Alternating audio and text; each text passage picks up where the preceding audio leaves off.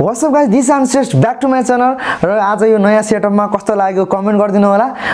मैले video improve गरेको छु। केही लेख्नु छ भने लेख्नु होला कमेन्टमा मैले कसरी इम्प्रुभ गरेको छु पहिला कसरी अहिले कस्तो छ?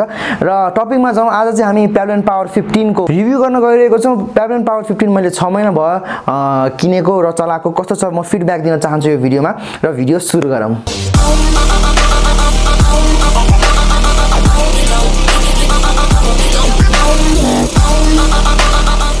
सुरुमा कलरको कुरा गर्दाखेरि चाहिँ यो ब्ल्याक कलरमा आउँछ र एलइडी लाइट किबोर्डको लाइट ग्रिन र वाइट कलरमा मात्रै आउँछ।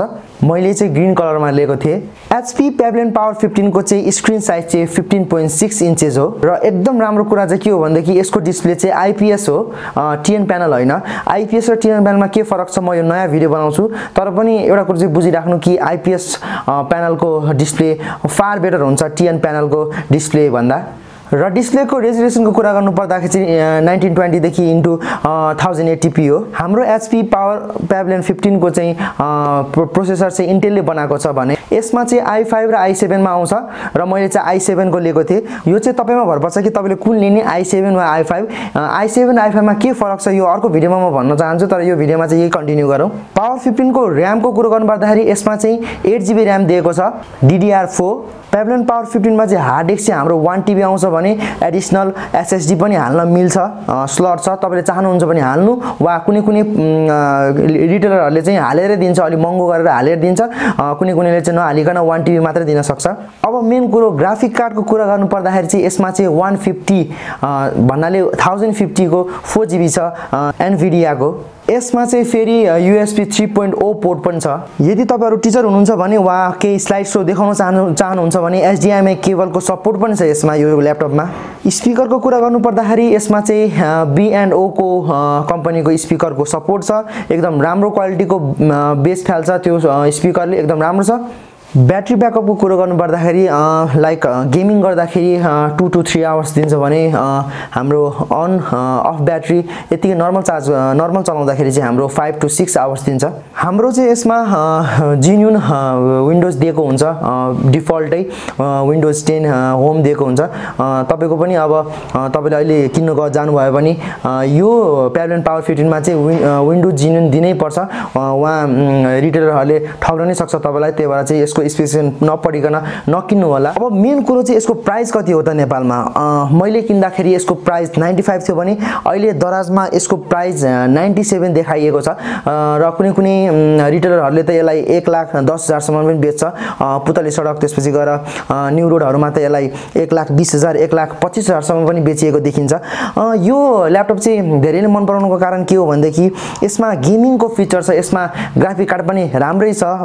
पब्जीदेखि लिएर फोर्ट नाइट त्यसपछि गएर गियर अपहरू ग्लोब अपरेसन त्यसपछि गएर डेल्टा फोर्स धेरै राम्रो राम्रो गेमहरू पनि हाई एफपिएसमा खेल्न सकिन्छ यसमा विदाउट एनी ल्याग डिस्प्ले पनि राम्रो आइपिएस डिस्प्ले भएको कारणले गर्दाखेरि गेम खेल्न पनि मजा आउने फोटो एडिट गर्न त्यसपछि गएर भिडियो एडिटिङ त्यसपछि गएर अफिसको कामहरू गर्न सबै गर्न मजा आउने भएको कारणले यो चाहिँ एकदम लोकप्रिय बन्न पुगेको छ।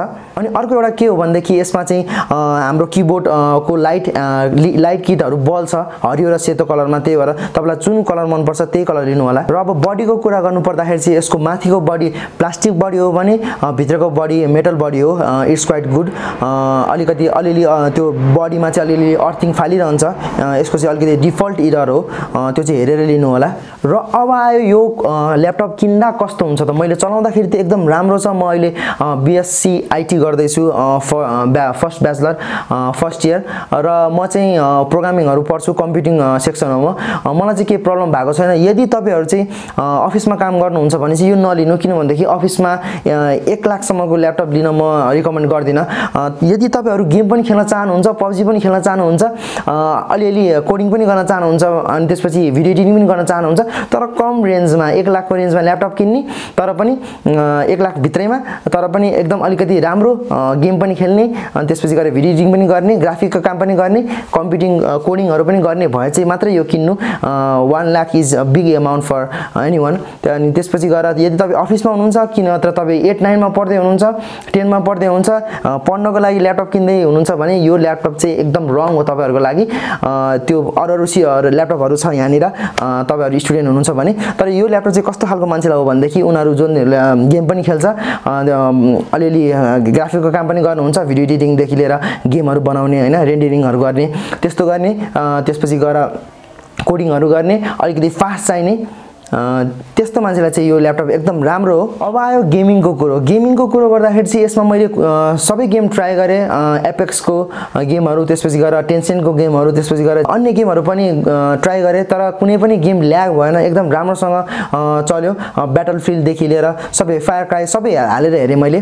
फिफा नाइन्टिनदेखि लिएर सबै गेमहरू खेलेँ। तर पनि कुनै पनि गेम ल्याग भएन तातिएन ल्यापटप। एकदम राम्रो छ ग्राफिक कार्ड पनि राम्रो भएको कारणले गर्दाखेरि भित्रको प्रोसेस पनि राम्रो भएको कारणले गर्दाखेरि चाहिँ यो ल्यापटप चाहिँ गेमिङको लागि एकदम राम्रो छ।